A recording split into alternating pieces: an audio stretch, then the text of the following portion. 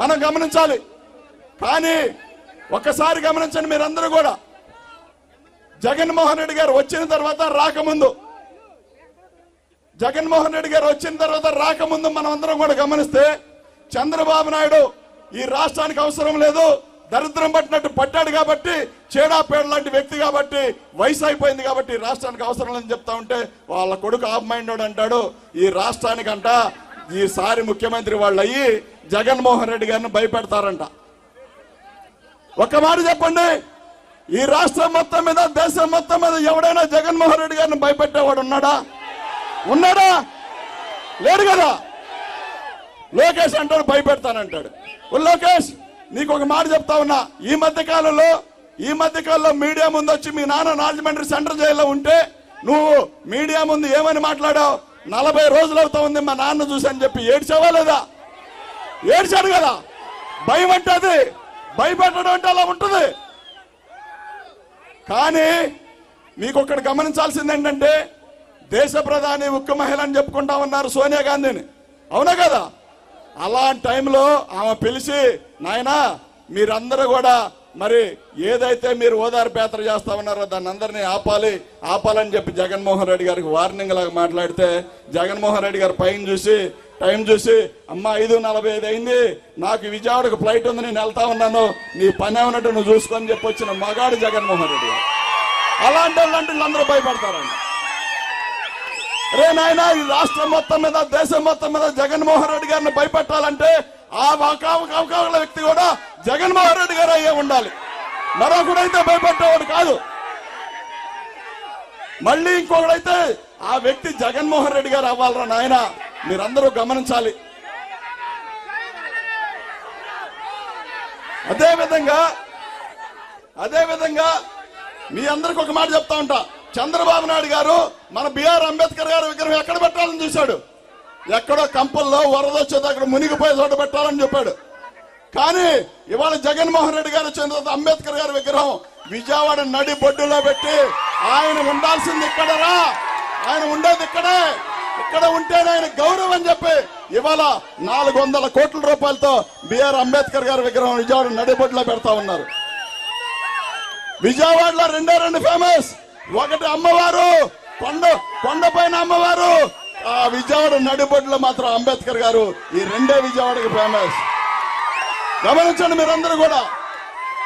ఒక దినం గడవాలంటే చంద్రబాబు నాయుడు అంటే సాయంత్రానికి ఐదు వందలు ఇచ్చి ఓటు వేపించుకుంటాడు ఒక తరం గడవాలంటే మాత్రం ఖచ్చితంగా జగన్మోహన్ రెడ్డి గారికి మాత్రమే సాధ్యం. ఒక తరం ఒక జీవితం బాగుపడాలంటే జగన్మోహన్ రెడ్డి గారికి సాధ్యం అది. మీరందరూ కూడా గమనించండి. ఈ మధ్య కాలంలో విజయవాడలో వెంగి అంబేద్కర్ గారు విగ్రహం పెట్టారు. నేను అటు విజయవాడ వైపు నుంచి వస్తా ఉన్నా. మణిపాల్ హాస్పిటల్ దాటిన తర్వాత విగ్రహం ఇట్లా ఎలా చూపిస్తా ఉంటే నేను ఇట్లా వెనక్కి తిరిగి చూసా. ఈ విగ్రహం ఎటు చూపిస్తా ఉందంటే తాడేపల్లి వైపు చూపిస్తా ఉంది. నాకు ఆశ్చర్యంగా అనిపించింది. ఆశ్చర్యంగా అనిపించింది. ఏమో నాకైతే ఏమనిపించిందంటే ఇదిగో మీ జీవితాల్లో నా ఆశలను నా ఆశయాలను గెలిపించే వ్యక్తి తాడేపల్లిలో ఉన్నాడు. వెళ్ళి చూడండి. అని చెప్పినంత గొప్పగా అనిపించింది. కాబట్టి ఏదైనా ఈ రాష్ట్రానికి అంబేద్కరిజం ఏదైనా తెచ్చాడంటే అది ఖచ్చితంగా జగన్మోహన్ రెడ్డి గారే. పేదవాడు కోసం ఏదైనా పనులు చేసి మరి ఏనాడు కూడా పెత్తనాలాగా జగన్మోహన్ రెడ్డి గారు అనుకోలే ఏనాడు కూడా పెత్తనం కింద అనుకోలే జగన్మోహన్ రెడ్డి గారు?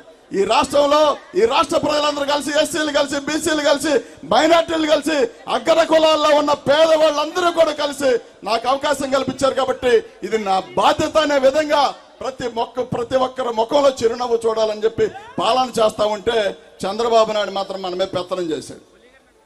పెత్తనం చేశాడు. ఏం మాట్లాడాడు? ఎస్సీలుగా ఎవడైనా పుట్టాలని కోరుకుంటారా అన్నాడు. అన్నాడా లేదా? అన్నాడు కదా. ఏకాకంగా బీసీలు అయితే మీ తోక కత్తిరిస్తానని చెప్పి మరి బట్టలు ఓడి తీసుకొడతానని చెప్పి మాట్లాడాడు చంద్రబాబు నాయుడు. అందుకే కదా రెండు వేల పంతొమ్మిదిలో చంద్రబాబు నాయుడు బట్టలు ఓడి తీసి పరిగెత్తించింది. కరోనా టైంలో కరోనా టైంలో ఈ రాష్ట్రం ఏమైపోతా ఉందని చెప్పి మనందరం కూడా బాధలు పడతా ఉంటే కనీసం చంద్రబాబు నాయుడు కానీ పవన్ కళ్యాణ్ కానీ లోకేష్ కానీ ఇప్పుడున్న కులాంకారులు కానీ ఎవడైనా మన వైపు చూశాడంటే ఎవరు చూడలేదు. కానీ తాడాపల్లిలో తాడాపల్లిలో కూర్చొని ఈ రాష్ట్రాన్ని బాగు చేసి ఈ రాష్ట్రాన్ని కాపాడుకొని మన ప్రాణాలని మన ఆరోగ్యాలను కాపాడిన వ్యక్తి ఎవరు? జగన్మోహన్ రెడ్డి గారు. మనకెవరు కావాలి? జగనన్న కావాలి. కాబట్టి మీరందరూ గమనించాల్సింది ఏంటంటే ఈసారి ఎన్ని రకాలుగా ఎన్ని కుయుక్తులు పన్ని వచ్చినా ఒకే ఒక మాట చెప్పండి.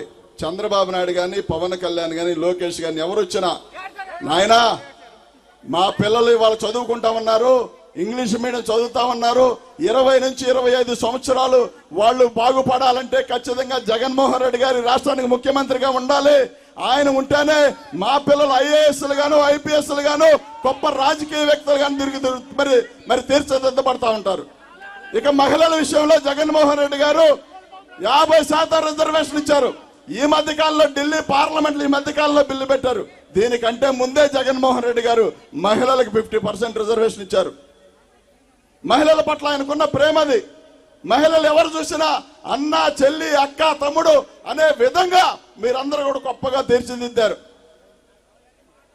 ఇవాళ ఇంత గొప్ప పాలన చేస్తా ఉంటే మళ్ళీ వీళ్ళందరూ వచ్చి పవన్ కళ్యాణ్ కావచ్చు లోకేష్ కావచ్చు అదేవిధంగా చంద్రబాబు నాయుడు కావచ్చు ఈ రాష్ట్రంలో పథకాలు ఇస్తే ఈ రాష్ట్రం అప్పుల పాలైపోద్ది. కాబట్టి దీన్ని ఎవరు బాగు చేయలేరు శ్రీలంక అయిపోద్దని చెప్పి నీ ముగ్గురు వ్యక్తులు చ- పవన్ కళ్యాణ్ అంటాడు మేము అంతకంటే ఎక్కువ పథకాలు ఇస్తామంటాడు. అంతకంటే ఎక్కువ పథకాలు ఇస్తామంటారు. ఆ పథకాలు ఇవ్వడానికి నువ్వెందుకు రా నాయన? జగన్మోహన్ రెడ్డి గారు ఉన్నారు కదా. ఆయన ఇస్తున్నాడు కదా. ఇంకా మీకు ఈ రాష్ట్రంతో పనే ఉంది. పవన్ కళ్యాణ్ ఈ మధ్య ఓటు ఎక్కడేశాడు? ఈ పవన్ కళ్యాణ్ అనే వ్యక్తి ఓటు ఎక్కడేశాడు? తెలంగాణలో వేశాడు. వేశాడా లేదా? తెలంగాణలో వేసి ఇక్కడికి వచ్చి రాజకీయాలు చేస్తూ ఉంటాడు. ఏబిఎన్ కావచ్చు టీవీ ఫైవ్ కావచ్చు. ఇంకా రకరకాల ఛానళ్ళు కావచ్చు. ఈనాడు రామోజీరావు చావుదాలకు వచ్చిన రామోజీరావు కావచ్చు. వీళ్ళందరూ కూడా వీళ్ళందరూ కూడా చావుదాలకు వచ్చి హైదరాబాద్లో ఉండి ఏపీ మీద రాజకీయాలు వస్తూ ఉంటారు మరి నాలుగు ఐదు సంవత్సరాలు కేసీఆర్ పాలించాడు. కేసీఆర్ ఏమన్నా ఒక మాట అన్నారంటే కేసీఆర్ అంటానికి వాళ్ళందరికీ ఇది పడింది. కేసీఆర్ జోలికి వెళ్ళడానికి వీళ్ళందరికీ ఇది పడి భయపడ్డారు. భయపడాలి జోలికి వెళ్ళకపోయారు ఇక చంద్ర మరి నరేంద్ర మోడీ గారు పాపం బీజే నరేంద్ర మోడీ గారు ఎవరితో పవన్ కళ్యాణ్తో కలిసి వెళ్ళాడు. ఎక్కడ? తెలంగాణ ఎలక్షన్లో. కలిసి వెళ్తే తెలంగాణలో ఎక్కడ మీటింగ్ జరిగినా పవన్ కళ్యాణ్ హెలికాప్టర్లో గన్మెన్లో సెక్యూరిటీ అంతా ఇచ్చి మొత్తం నాశనం అయిపోయిన తర్వాత ఈ మధ్య నరేంద్ర మోడీ ఫోన్ చేశాడంట అరే నీకు హెలికాప్టర్ అనవసరంగా పెట్టాం కదరా నాయన అన్నాడు. నువ్వు డ్రామా ఆర్టిస్టు కాబట్టి సినిమా యాక్టర్ కాబట్టి సర్వసాధారణంగా చూడటానికి వస్తారు. వాళ్ళందరూ ఓట్లు వేస్తారు అనుకున్నాం తీరా చూస్తే తెలంగాణ మన బిడ్డ పోటీ చేసింది మన దళిత బిడ్డ ఒక ఆడపిల్ల. పోటీ చేసిందా లేదా? పోటీ చేస్తే ఆ బర్రెలక్కనే పిల్ల పోటీ చేస్తే ఆ పిల్లకు వచ్చిన ఓట్లు కూడా ఈ పవన్ కళ్యాణ్కి రాలా. వీళ్ళందరూ కలిసి ఆ పిల్ల సంకనాకాలు. ఆ పిల్ల సంకనాకి సిగ్గు వచ్చింది పవన్ కళ్యాణ్కి చంద్రబాబు నాయుడుకి.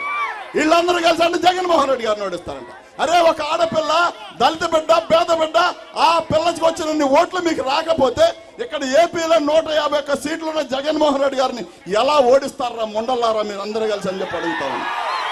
మీకు దమ్ము ధైర్యం ఉంటే మళ్ళీ చెప్తా ఉన్నా మీరు సింగిల్గా పోటీ చేయండి ఒక్కొక్కరు నూట డెబ్బై ఐదు నియోజకవర్గాల్లో పోటీ చేయండి మీ బతుకులు బయటపడతాయి. కాబట్టి ఒకే ఒక మాట చెప్తా ఉన్నాం ఏది ఏమైనా మేము చివరి వరకు ప్రాణం పోయే వరకు ఈ కంటి మీద రెప్ప వాలే వరకు జగన్మోహన్ రెడ్డి గారితోనే ఉంటాం. ఆయనకే ఓటేస్తాం ఆయన్నే గెలిపిస్తాం. ఇది ఎస్సీల రాజ్యం బీసీల రాజ్యం ఎస్టీల రాజ్యం అదేవిధంగా మైనార్టీల రాజ్యం అని చెప్పి చెప్తా ఉన్నాం. వీళ్ళందరూ కలిసి జగన్మోహన్ రెడ్డి గారిని ఓడిస్తామంటే చూస్తా ఉంటాం మనం. చూడం కదా. మన నాయకుడిని మనం గెలిపిస్తాం కాపాడుకుంటాం.